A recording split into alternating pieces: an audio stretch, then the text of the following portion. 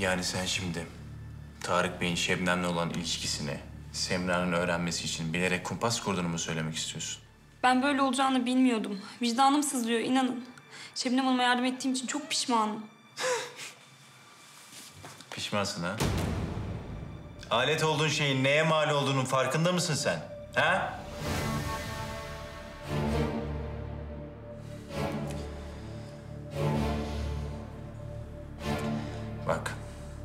Şebnem'le ilgili söylemediğin, unuttuğun bir şey varsa hemen söyle.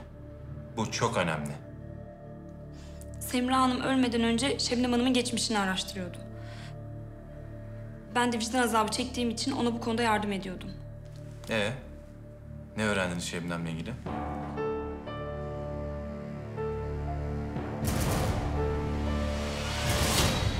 Aklını kullan artık Tarık.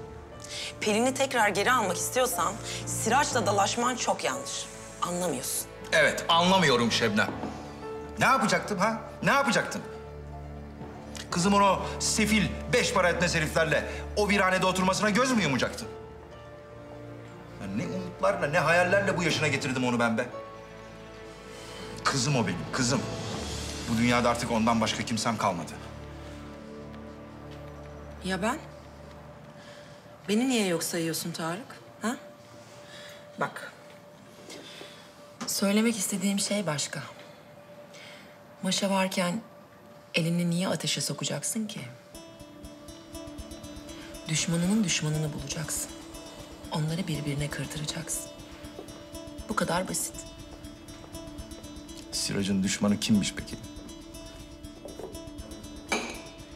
Bizim yeni dostumuz sevgilim.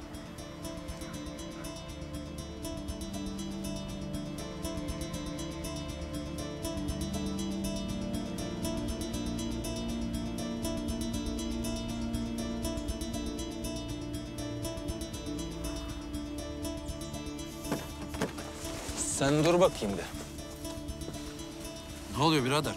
Ben de sana onu soracaktım. Ne oluyor birader? Önce kızın babasını evire çevire döveceksin. Sonra Şirin'in peşinden ayrılmayacaksın. Ne işin var lan senin Şirin'le? He, sen şu kızı isteyip de alamayan adamsın değil mi? Sana ne lan sana ne? Sen soruma cevap ver. Bak ağzını burnunu dağıtacağım şimdi ha. Tamam kardeşim tamam. Sakin ol. Sakin ol. Bir adam gibi konuşalım. Adam mısın lan sen? Tamam kardeşim bak sakin ol. Kabalaşmana gerek yok. Sen Şirin'den bahsetmek istiyorsun değil mi? Hı. Şirin bildiğin gibi ulaşılması güç hayallere sahip bir kız. E, burası da İstanbul. Kurtlar sofrası. Değil mi? Kıza sahip çıkmak lazım. E, ben de kızın akrabasıyım. Yengemin kardeşi. Zeliha'nın kardeşi. Yardım ediyorum. O kadar. Eksik olsun senin yardımcı olman. Bak sana bir kez söyleyeceğim. Eğer bir daha bu kızın peşinde görürsem seni... ...Allah şahidim olsun öyle bir harcarım ki...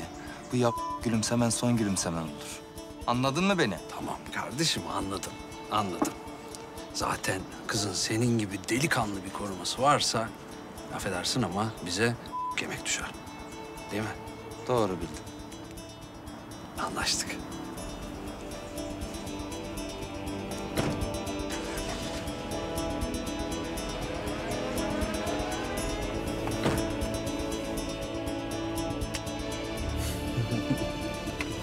Ulan bu diziler ne hale getiriyor bu çocukları ya? Adam bildiğin Malkoçoğlu olmuş vallahi.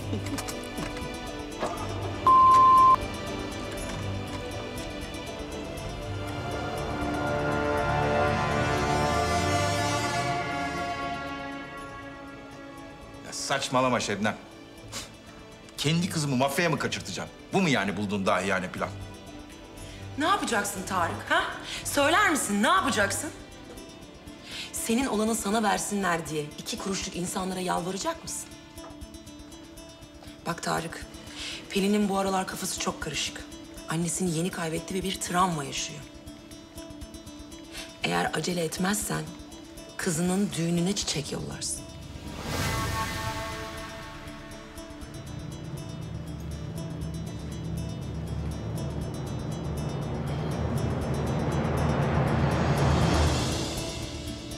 Şebnem'le ilgili bütün bilgileri istiyorum Aysun. Hepsini. Her şey burada Giray Bey.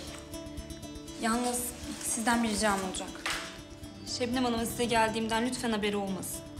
O çok tehlikeli bir kadın. Ondan korkuyorum. Merak etme. Bu sadece ikimizin arasında bir sır olarak kalacak. Bana hemen Semra Hanım'ın avukatını bul. Tarık Bey'e boşanma davası açıp açmadığını öğrenmem lazım. Tamam. Avukatı kimmiş öğrenirim. Ama bundan sonra bu işin içinde bulmak istemiyorum. Sen sadece avukatı bul.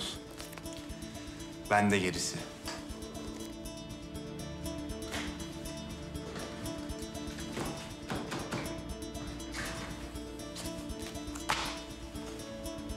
Pelin'i Şebnem'den korumam lazım.